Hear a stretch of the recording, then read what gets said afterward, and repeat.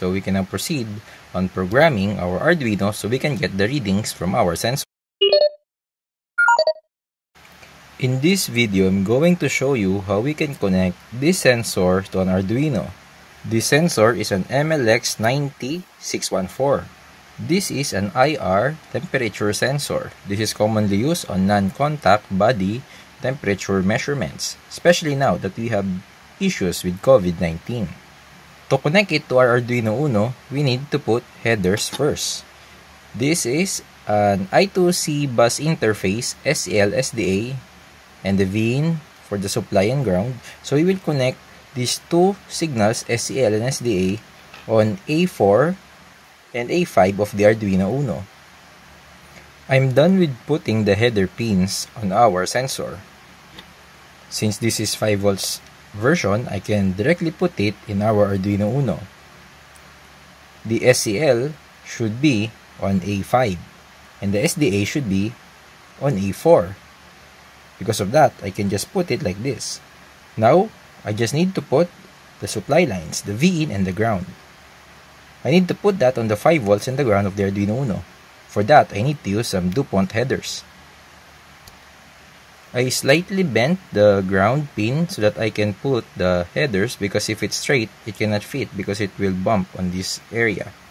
So now I can put the V in, which is for the 5 volts, then this one is for the ground. The connectors and the jumper wires are now okay, so we can now proceed on programming our Arduino so we can get the readings from our sensor. Now we're here in our Arduino software, let's try to look for the library that we can use. Let's click Tools, then go to Manage Libraries. Then we need to click on the search bar and type the sensor that we're using, which is LMX90614. You will see many libraries here, and the one that we will use is this one from Adafruit.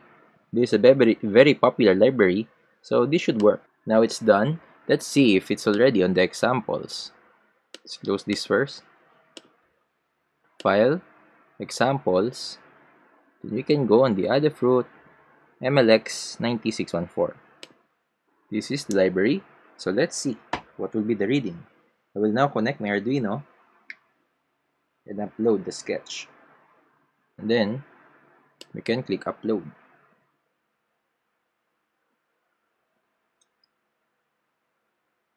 It's now done, done uploading.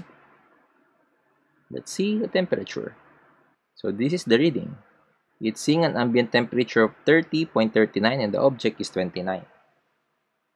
I will move my hand in front of the sensor and let's see what would be the reading. It's now detecting 34 on my hands. On my forehead, it is detecting 32. I hope you find this video useful and interesting. Please don't forget to like and subscribe my channel. Thank you.